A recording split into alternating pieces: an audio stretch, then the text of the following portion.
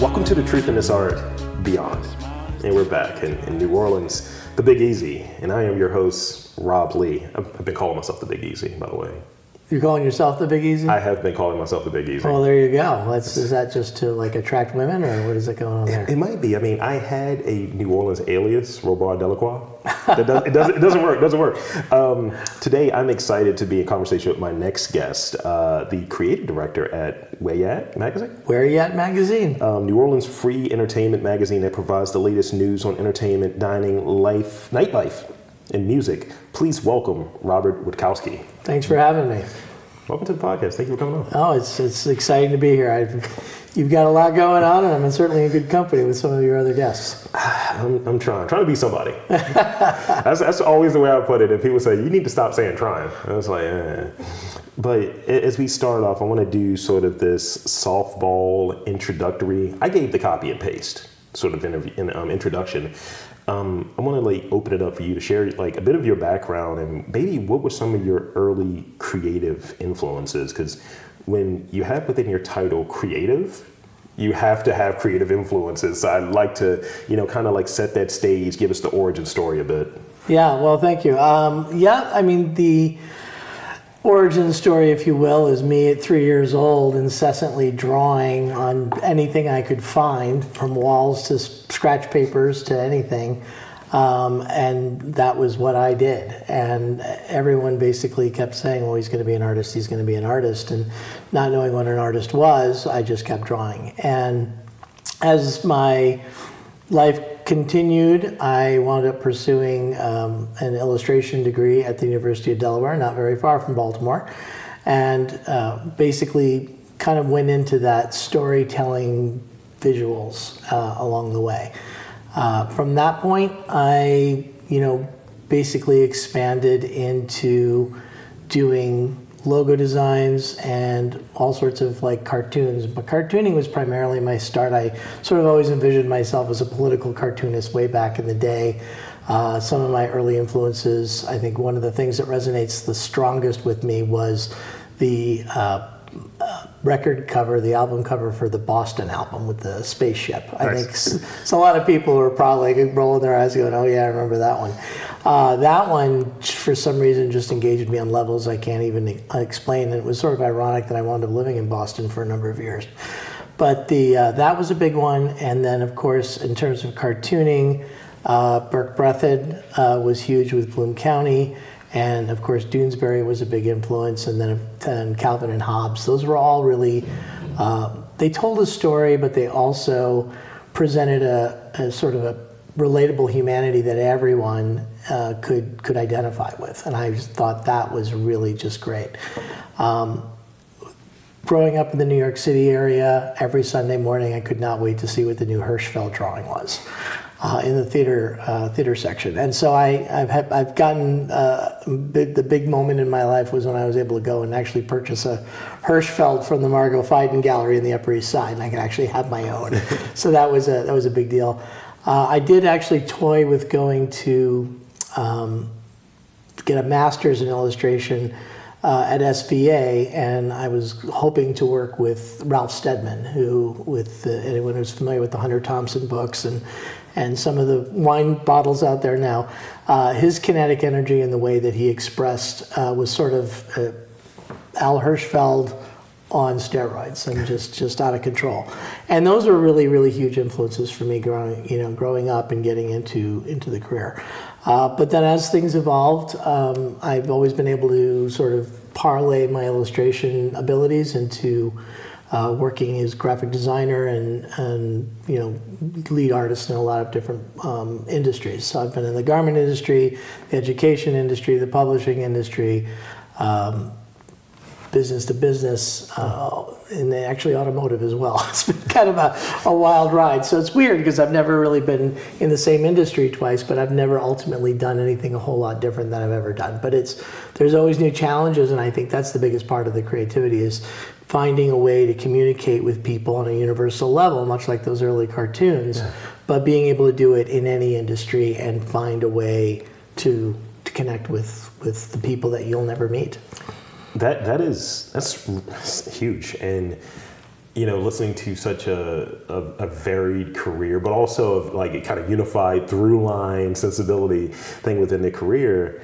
You know, I, I have to ask this: like, if there was a, a stop within that path, whether it was automotive period, whether it was a is there a stop that you you look back on, you're like, yeah, I remark and look at an experience there even now with what you're doing. Like, yeah, that was very formative for me. This stop at this point in my career, um, and if there is one, what would it be, and what what did you like like take from it?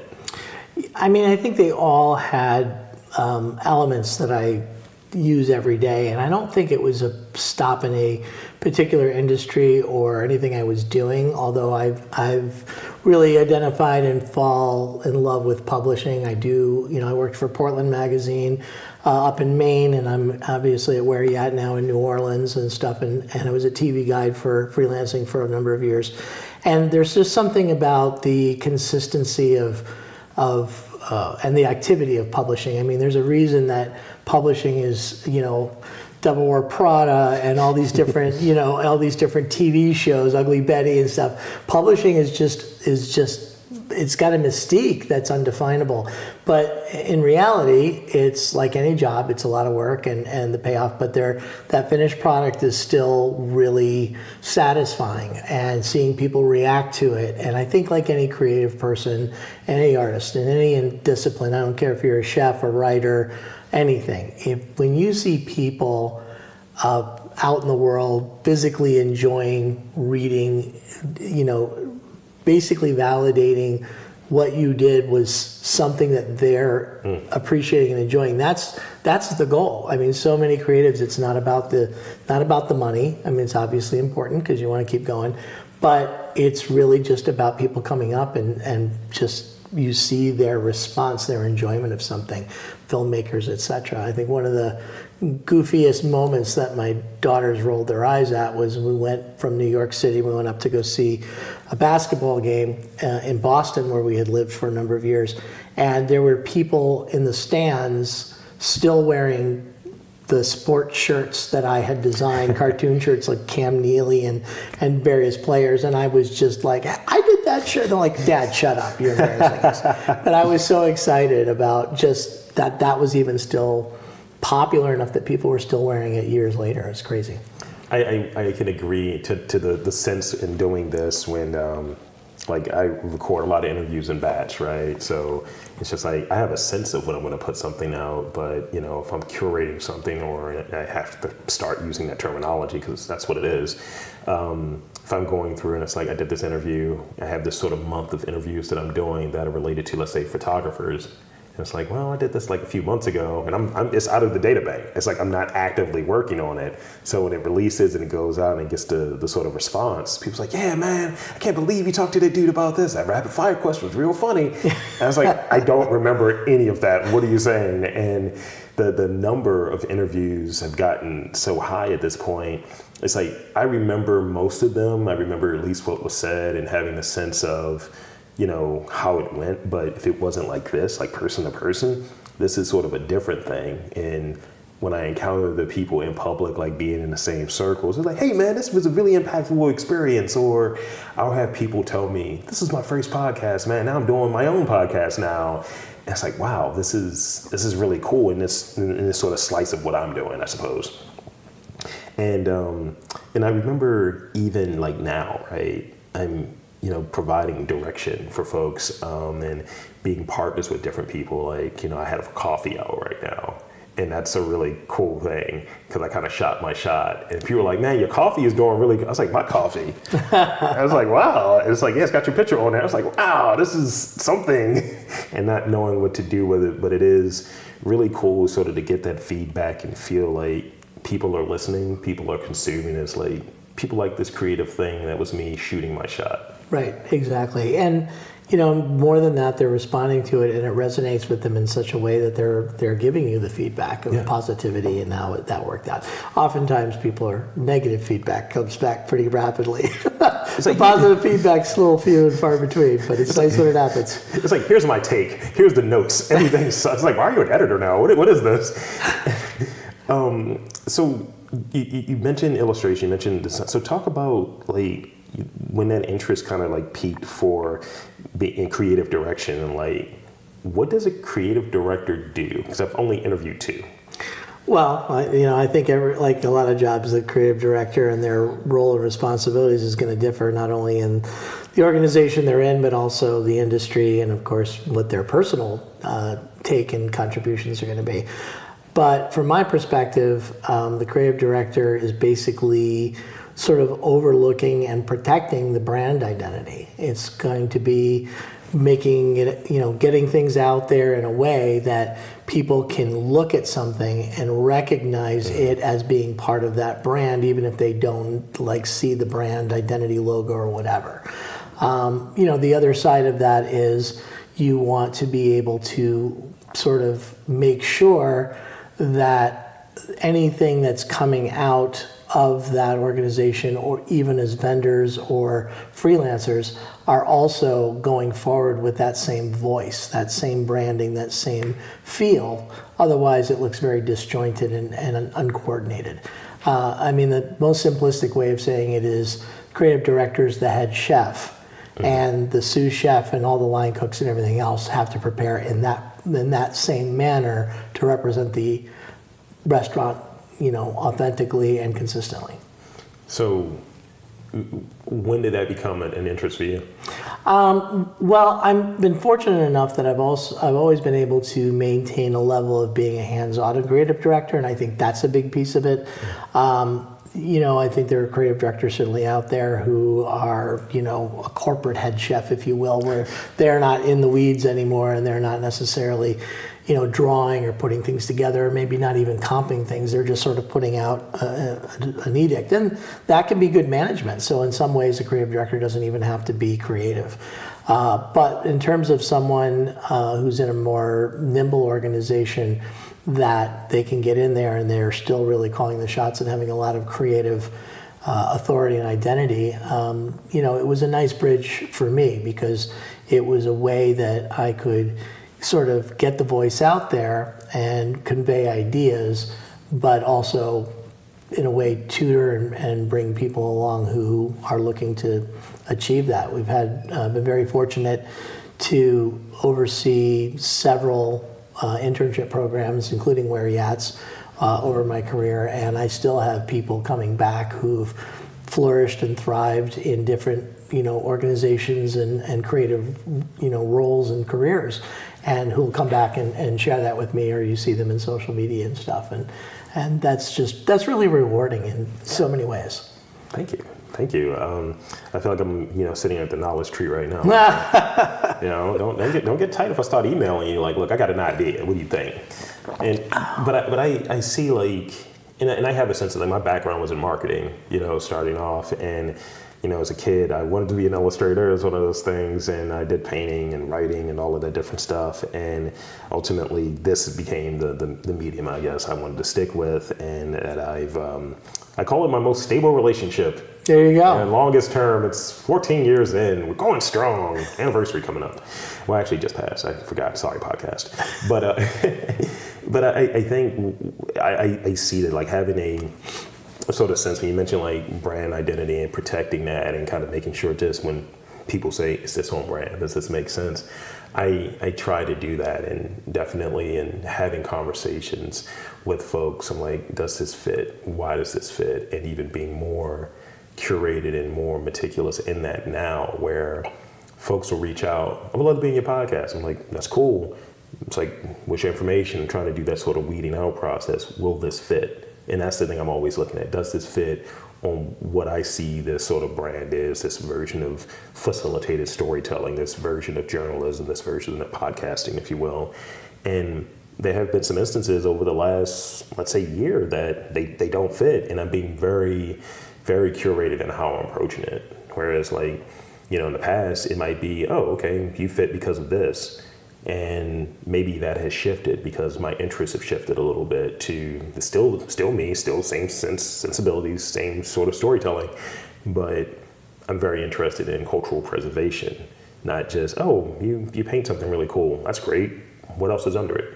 What the what are the other things there? What, does this make for a good conversation, and and so on. Yeah, no, I think that's extraordinarily important because, you know, you'll see, you know, and, and people can probably point to different things, uh, whether it's TV shows, movies, magazines, restaurants, where the creative person, whether it's again the head chef, the creative director, uh, a writer, perhaps, when that shifts, there's usually a very very palatable change. Like you'll either notice the entire magazine got redesigned, or the menu in a restaurant changes, or the writing style is all of a sudden, you know, either better or worse than what you had thought previously.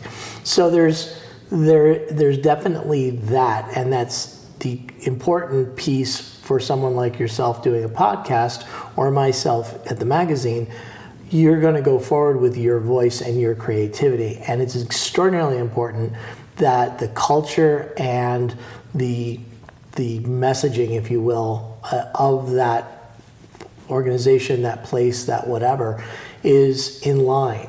Uh, and more importantly, that you're in line with it. Uh, being your own podcast, it's what you needed and wanted to be. But as you're saying, you're sort of, you know, fostering it and cultivating it as you go along. Uh, you know, some people are extraordinarily talented and they can walk into any situation and tailor their creativity and their painting styles or, or whatever their their voice is to what's in the moment.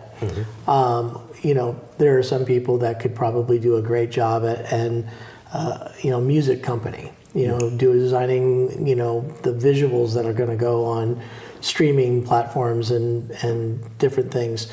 But can they go to Snowboard Magazine and do the same thing? Do they even want to? Right. You know, and vice versa. So, you know, you really just have to find something, you know, that you love and that you that resonates with you. If you, you know, like anything, if you have a job that you're terrible at, you're a lawyer and you don't want to be a lawyer, you're gonna be a terrible lawyer.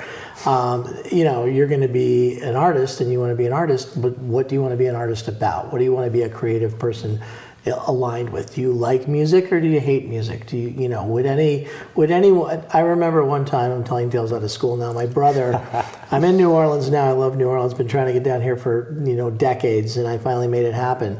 But I remember the first time my brother, who lives in Chicago, wanted to come down to New Orleans and I told him, I said, you got to go, it's the most amazing city, you're to have a great time. And he went, I called him up afterwards and I said, hey, how was it? Did you have a great time? He goes, that was the worst trip of my life. And I said, why? He goes, here's a little hint. Don't go to New Orleans with, well, how did he say it? I'm going to mess it up now. Don't go to New Orleans with non-drinking vegetarians who don't like jazz. and I said, that sounds like the seventh level of hell. And he goes, it really kind of was. And so, unfortunately, you know, he wasn't one of them, but he was with them, and that was sort of, you know, miserable adjacent.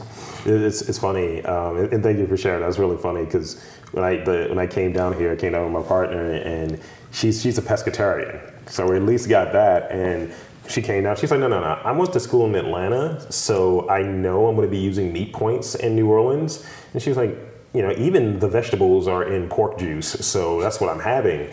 And I remember we went to Toup's, and she had like the meat platter. I was like, "Oh, you're you're living reckless right now." and she was like, "Look, man, it's protein." I was like, "You, you're great." And you know, we we love live music, and really being able to come down down here and, and experience it, and just again, you know, as I was touching on a little bit earlier in, in doing this podcast and, and speaking to some of the folks I'm speaking to, I'm seeing it in a much different way now. Yeah. So let, us talk about the magazine a little bit. Um, in terms of mission, right? Is, is there, is, does the magazine have a mission? Like, you know, speak on that a little bit. And what is the mission? And maybe like how how how creative direction here maybe differ from some of the roles and responsibilities you, you've had previously that led to where you're at now. Well, I would never presume to speak to Mission uh, without consulting with the publisher. Uh, he is the founding publisher. We're in our 25th year, and it is going strong. We actually had one of our best years ever, and we recently had our uh, Mardi Gras issue put out, the largest issue we've ever put out in 25 years. So to all of that, whatever the mission is, has been working.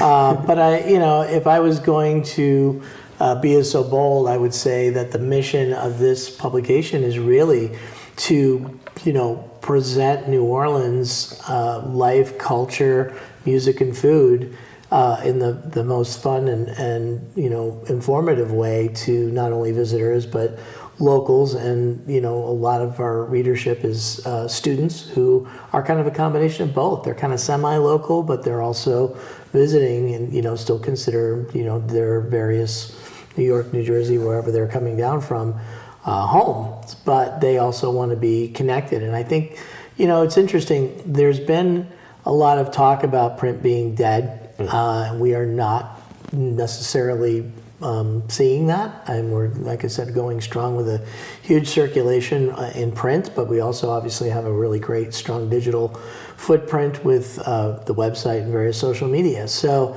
you know, I think part of it may be just embracing that and running with it, but there's still a lot of people who like picking up and getting that tangible piece of paper to review and read.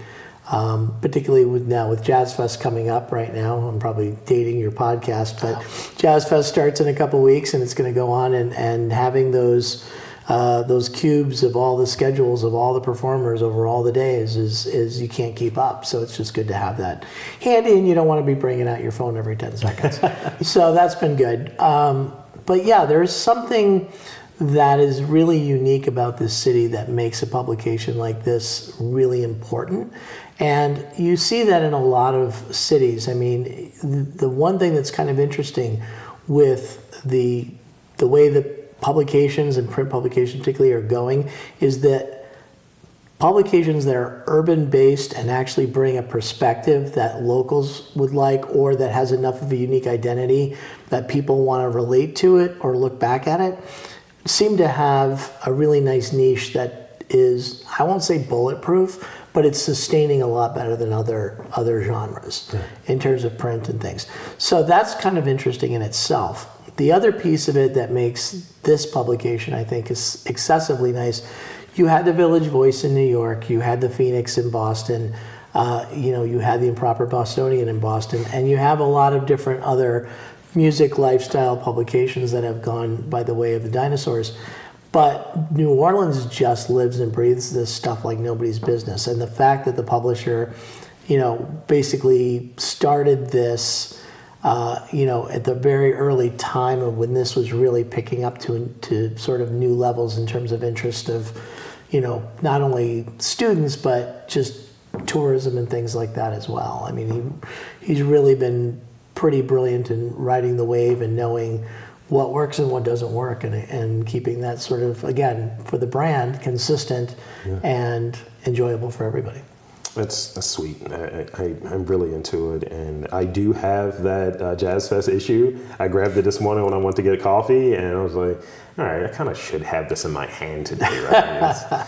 you know, and I, I, think, yeah, like when I go to different cities, that's the thing I'm getting. What's the accessible thing? And then all of them are not on the same you know curve obviously. It's like oh, this is nothing in here. Or it's nothing but ads in here or what have you. And that is not the case with your magazine. Well thank you. Yeah we try to make sure that there's a, a really good balance of advertising because obviously advertising pays the bills.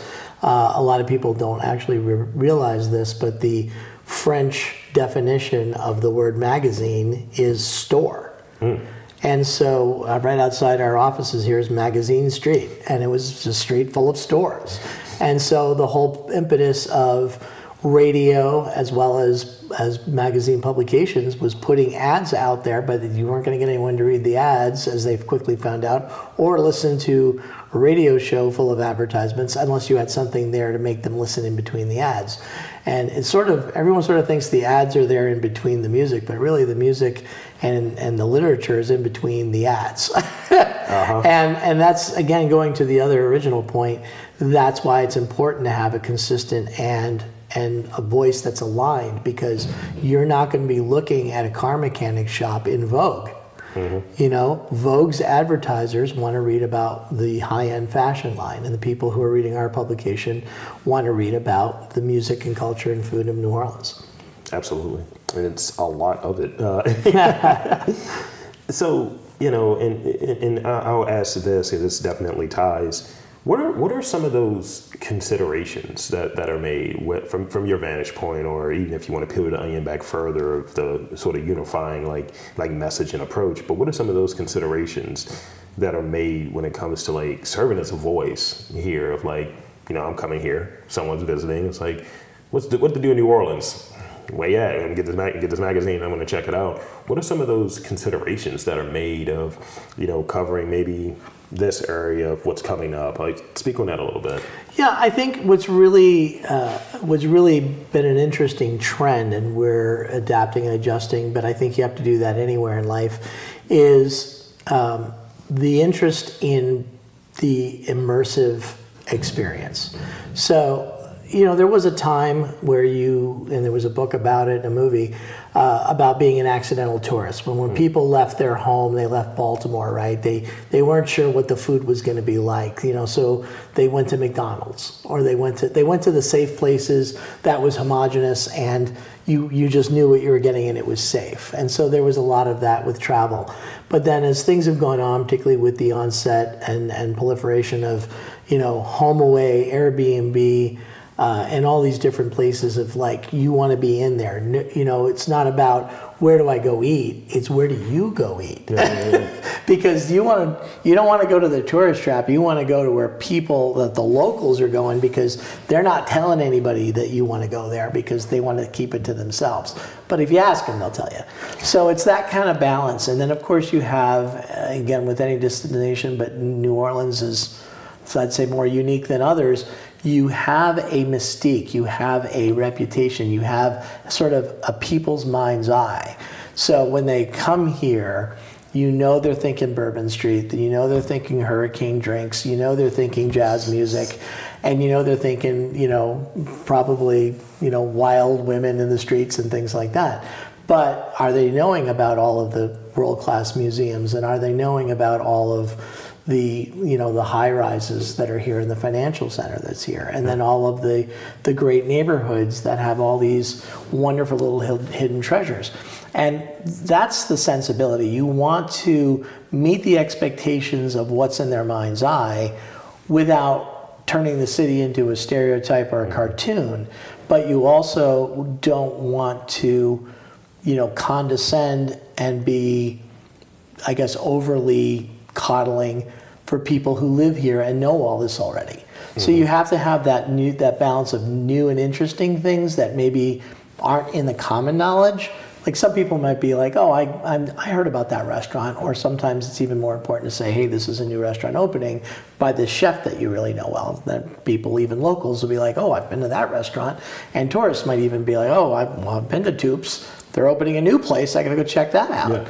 you know and and that's where you know the information and, and the fun gets there but then you know every time that plane lands every time there's a new mardi gras every time there's a new jazz fest there's thousands and thousands and thousands of people who are walking into the city for the first time and they need to know what to do Yeah, I, I absolutely I, I dig it, and you know I'm always trying not to do the same thing each time. I'll say, in the I think this is the sixth, sixth or seventh time I've been down here. The first time, noob. Stayed out there at the airport. I definitely had a hurricane. I definitely did a tour and all of that. And I feel like each time since, I've added something different. I've approached things in a different way. And I'll say, in having some of the conversations, at least for these like last two uh, times I've been down and going out here to do interviews, I mentioned like I've talked to this person, this person, and then you have like some of the like the, the locals are like, oh, you actually talked to real people. You didn't talk to like Joe. This is the person you should be speaking with. You didn't put on like a bunch of beads and an alligator hat and just no. You you you did different things and really invested and and I think the, the way that I approaching it. There's a tourism angle that, that, that comes in with doing these podcasts in different cities. I look at it as an invitation. I look at the podcast as a whole as an invitation, whether it's an invitation to learn more about the guests and their work, whether it's an invitation to learn more about the culture that's connected, whether it be the, the, the community that they're in or where they're from and so on, but it's an invitation. And I think when things are presented in that way, you're, you're inclined, you're going to definitely cover some of the stuff that people are familiar with. Say, oh yeah, that's that's there. You know, the jazz museum. That's that's the thing. You know, obviously it should be right. And, oh, I'm gonna have some, you know, pralines or pralines. I don't know how they pronounce it. Um, you- you're gonna do all of that, but also you're gonna try some other things. And I, I I would say the last time I was here. That was the first time I had um, roast beef po' boy, and it changed my life. And I was like, oh, oh, this is this is delicious. And I was purely a fried shrimp po' boy, and I was just like, nah, nah, nah, do it this way, make sure it's dressed, the whole thing. And you know, really going to those places that I didn't see on the travel show Right.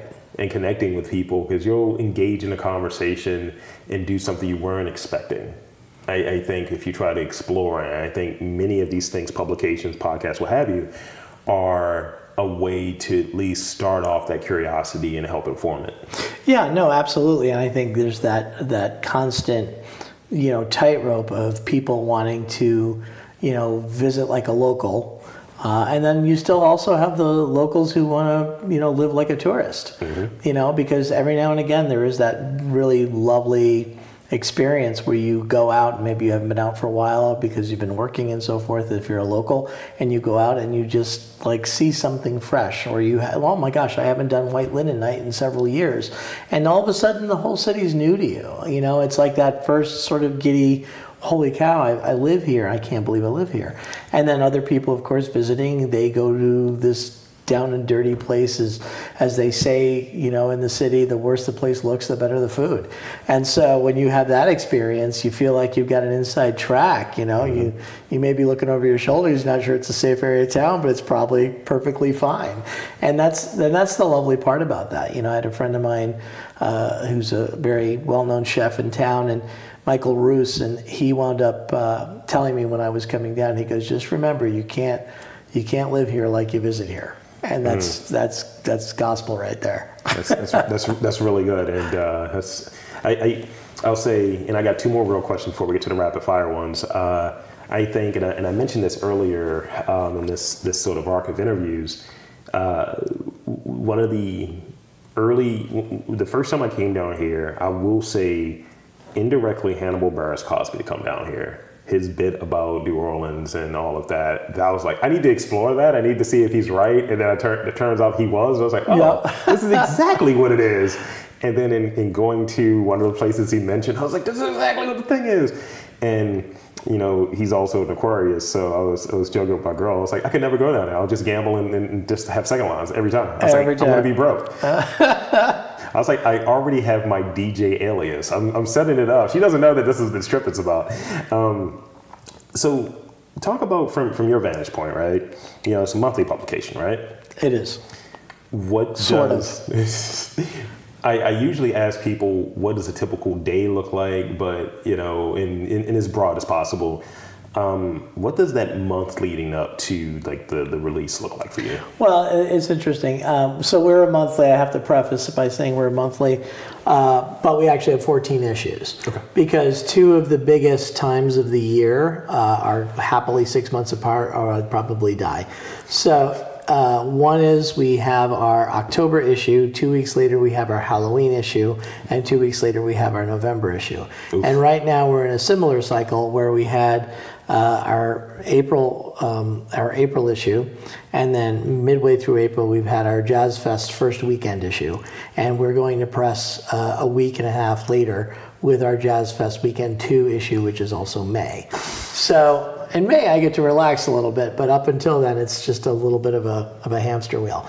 But it's fun, and again, it's that satisfaction of getting it done and making it look great, and having people, especially thousands of people at Jazz Fest, you know, they go walking around with it. It's a, a feeling of accomplishment and satisfaction. Um, but in terms of the general question, um, you know, it's probably a lot like about a lot of publications. You're ramping up. You you know, we do our pitches with our writers uh, quarterly. We're ahead of that for a number of uh, months, so we have it hopefully edited by the time the issue closes. It's we have edited copy ready to go for the new issue.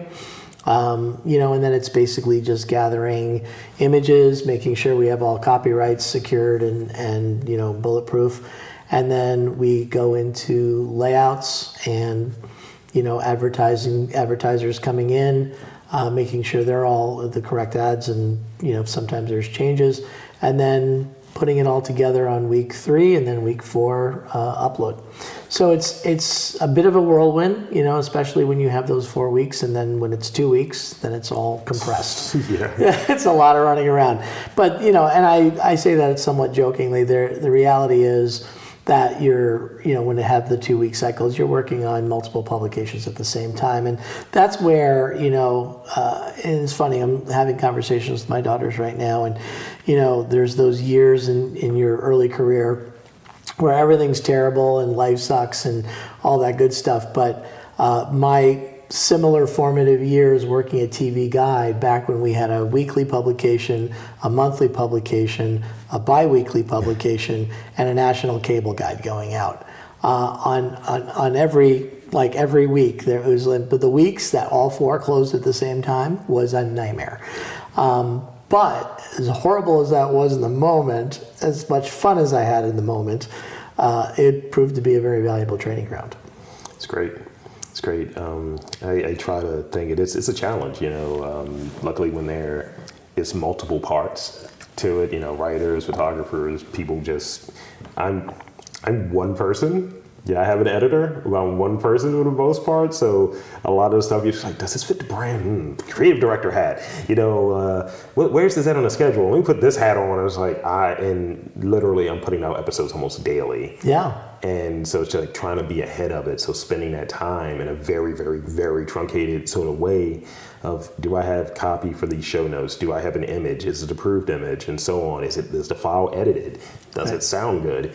And you know, it's a whole lot of how the sausage is made. yep And and you know, it's a lot that goes into anything that's going out there for eyes and ears to receive. Absolutely, and you know, and I'm not naive enough to think that, you know, uh, that there's like chefs in restaurants who are as good as their last meal or their last service, and advertising agencies that are living and dying on on you know the latest you know Delta ad or whatever whoever's got that account today. So I mean, it, it's you know anyone in that creative process, yourself, me, anyone out there, uh, and I'm talking about writing, music, movies. I, I mean, just Broadway theater. I mean, there's so much, so much great entertainment and talent out there, but there's a reason that it is so coveted mm-hmm. because life without it doesn't, it's not worth living. I mean, you know, you talk about movie actors, oh my God, they're paid so much, and, and pro athletes and things like that. You know, what are they doing? What is that job? It's, it's entertainment. But there's a lot of people who need that in their lives because they're working really hard too. But maybe they're not getting that creative outlet and they're not getting the enjoyment out of it that we're able to. Um, and sometimes, sometimes you need to reset to remember that and, and just understand how blessed we are to, to be doing what we're doing. Yeah, and, and I have one last question I want to ask you, but I definitely want to throw this comment in there. You know, when we look at, there's, I think real estate would be the term here, right? There's a minimal amount of real estate in terms of attention. So make sure your stuff is good. Yeah. Because you have social media, TikTok, all of the different things. You have a 90 million movies that come out, and not all are gonna. You just don't have the time to check all, all of them at the same, you know, at the same time. And you know, podcasts are very flooded. You know, there's so many of them, and it's just like people can do other things with their time. So having something that's gonna develop sort of a and, and, cultivate and maintain a an audience and the support, like just you know, do that good stuff. Yeah. At the end of the day. No, I think it's an important point too. And and to use the analogy again of, of chefs, I was fortunate enough to live in Portland, Maine when Bon Appetit named it Restaurant City of the Year for the entire country, which was pretty amazing. And Portland, Maine's sixty five thousand people. It's not a big, like, huge city. It's the biggest city in Maine, but it's it's a pretty compact town. Uh, but a proliferation of amazing James Beard awarding restaurants. It's unbelievable. And you know, you take someplace like New Orleans or New York or even Baltimore, and they're big enough that a restaurant can get lost in the shuffle. You know, someone goes that's terrible, they leave, but someone else is going to come. When you've got a, a, a small market like that, mm-hmm. it's got to perform. And more importantly, a restaurant is not going to survive. It's going to survive on tourism, but in the off season, it is not going to bring the locals in to sustain it through in Maine situation of, of winter Yeah. unless those locals are supporting it. And if you're going to survive, you need to be good. You need to be great. You know, you can't be good. You have to be great. And and all those restaurants are still really thriving even after the pandemic. So um, there's a lot of talented chefs out there. There's a lot of creativity out there. A lot of innovation. A lot of really great food. And you're going to find that in a place like New Orleans. And you know, certainly there's enough restaurants around. But you talk about a flooded media market Yeah. you know and again this publication's been around you know josh danzig founded it back 25 years ago and it's having its best year in its history so what does that say it's it's you know it's great proud to be part of it It's wonderful. So I, I, I asked this. I, I asked this of the previous uh, creative director I interviewed. So I got to ask you, what are uh, two to three tools that you use to like you know that you're always in, whether it be the apps that you have open, for you to do what you do, and it's many things. You mentioned the hamster wheel earlier, right? How is a hamster wheel one of them? How do you you know keep keep it all like kind of sorted? What are those apps that you use those tools that you use to keep your your stuff organized and you on point to do your to do your work. Wow. I mean, there's so many things. I mean, obviously, you need some kind of a, a calendar system just to, you know, follow dates and figure out when things are at. Um, there's a really great uh, program that I was uh, introduced to years ago that I personally find helpful uh, called Team Up. It's typically free, uh, and you can have up to five or maybe even 10 uh, participants on it, and it's a whole you know workflow management thing that you can do, but it also keeps your your timing and and you know if that doesn't work for you, then there's always you know the Google. I think Google in general with their calendar and their email and various other things uh, is is pretty you know for a low entry cost and and high performance. I think you can even do a Google phone on it. So there's so many different things that Google can get you through and communications, and you don't even have to pay the money on a lot of programs. You could use Google Docs to deal with Word and Excel and all these things. So I think those are those are definitely key. But from my perspective, um, the whole thing falls apart without InDesign. I'm feeling seeing a very um, disturbing trend uh, that a lot of people are uh, coming out of art school and they know Illustrator and Adobe and they know Photoshop and Adobe, but they're not being taught InDesign. They're being thrown to Canvas, which is fine on a digital world, but it's a very sh- it, that is a short-sighted recipe for disaster that you're leaving a lot of. I think it's a huge disservice. I think they're leaving a lot of students out in the world who are going to not be able to do anything with their lives. Um, now, is Canva going to be great? If they're just going to do digital, yeah, I'm not saying they can't do a lot of really great things with it. But if you're talking about being a serious designer and doing things going forward, I find that to be really, really dangerous. And more importantly, if I want to hire someone and they're going to come at me and with their resume and say that they know Canvas and they've never played on InDesign or they don't like it, they're not getting hired. And I have to think there's a whole bunch of ad agencies and other, you know, serious, you know, creative companies out there that are going to have the same issues. I mean, I come from the publisher background with Microsoft back in the day. Oh, I thought you were going to tell me Quark. So thank you, thank you. Um, so now I've been adding rapid fire questions. Oh, dear. talking. Here we go. So you know how this works. Don't overthink them. You know. Uh, so I got six of them for you. Okay, that's easy. I can handle that. All right. Uh, so here's the first one. What is your favorite springtime activity? Oh, well, Mardi Gras. That's good. Uh, I told you I was going to ask you this earlier, but I shifted it. Favorite New Orleans food? Like if there was the one. Char grilled oysters. See, you're doing well. Um, if someone if someone were to visit New Orleans for 36 hours, what are three things that they must do? Oh, that's easy because I do that all the time. um, so, the, okay, so I think they have to go to the French Quarter. They have to have a beignet at Cafe Du Monde. Nice. Uh, and that's sort of the same thing. So we'll, we'll put that one together. Um, I think the Sculpture Garden of the Art Museum is a, definitely a must do. And they have to somehow get on the water on the Mississippi, uh, particularly if they've never seen the Mississippi before. So whether that's a ferry ride or a paddle wheeler or you know, a kayak. Doesn't matter. They just they should they should get on the Mississippi.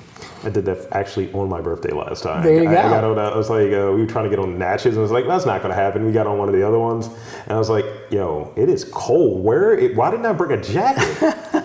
uh, yes, absolutely dope. Um, Can I can I add one more? Please, please, please. So uh, definitely, and top of the list to be fair, uh, go see live jazz somewhere. You can walk the streets and, and you can walk from block to block and never not hear music. One will fade out, another one will fade in and stuff. Um, Bourbon Street's certainly got enough talent on it, although it can be amateur night for some tourists and stuff. But uh, if you really want the real deal, Frenchmen Street in the Marigny, that's where you go. That's great. It's great. Um, and yeah, it's, it's, it's like the soundtrack. Yeah, it's all completely. Name a superpower you would like to try out for 24 hours. I would have to go with the uh, invisible thing. It's great. It's great. Now this one is a little trolly, and it's a little bit of punny, but it's gonna work. So Philly has this idea of like wit or without withoutski, wit or without, right? They do. Uh, so you know, and it's within their their major sandwich, their, their culinary contribution. I, I always go wit, just for the record. so you get it. Yeah. Uh, does NOLA have that? Does New Orleans have that? And what is that? I have an answer, but I want to see what your take is. Dressed or undressed? See, you got it. You're done, Yeah, done. po' boys. There's a dresser. Absolutely. So that's it. That's that's the podcast. oh, that was that was easy. See, I, I mean, maybe I, I always amp it up like, man, you never know what's going to happen on the rapid fire portion. There you go. And then it's just like a bunch of softballs, but it has nothing to do with the work. All right. So here's a question for you, Mr. Rapid Fire. Spin it. Phillips. Oh, oh, I make my own. oh. See, that's even better. Yeah, I, Uh, I smoke my crab cakes. Oh, there you go. Yeah, I'll, nice. I'll, I'll tell you about them in a bit. That'd be good. Um, so um, one, I want to thank you for coming onto this podcast. This has been just Oh, it was a lot of fun. chef kiss. Uh, and two, I want to invite and encourage you to uh, share with the listeners um, anything you want to share in the final moments, preferably social media, website, all of that good stuff, where folks can follow and learn more. Yeah, no, absolutely. Well, number one, come to New Orleans. It's a great city. Uh, Where Y'at magazine is whereyat.com, W H E R E Y A T.com. Uh, they have obviously our website, but you can also see the printed version digitally online for free. You can even download it if you care to, to have a print version from afar. Uh, for anyone who wants to have the tangible print version, you can also do a subscription. We charge for the mailing, but not for the publication. That aside, social media, uh, pretty much across the board at Where Y'at Nola. So whether you're doing Facebook, Instagram, Twitter, or anything else, but you want to be on the cutting edge of the latest bands coming out, people doing things. Our music calendar is very robust, and uh, yeah, we, we try to be on the ground floor and everything and get it out there as quick as we can. Thank you. Well, there you have it, folks. I want to again thank Robert Witkowski from Way Magazine for coming onto the podcast. And I'm Rob Lee, saying that there's art and culture in and around your neck of the woods. You've just got to look for it.